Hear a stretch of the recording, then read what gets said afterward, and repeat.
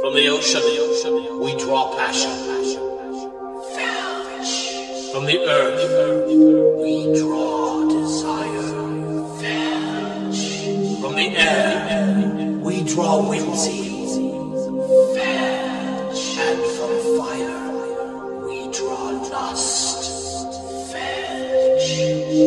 Belch, a new perfume by Clavier. Have you been velch?